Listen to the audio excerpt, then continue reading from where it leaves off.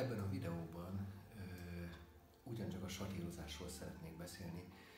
Az előző videóban um, ugye részleteiben tárgyaltuk a dolgot, ezeknek mindnek jelentősége van egy satírozásnál, egy átmenetnél. Tehát maga a technika,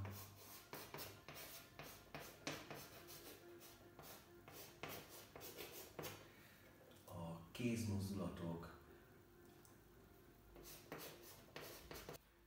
a videó teljes anyaga.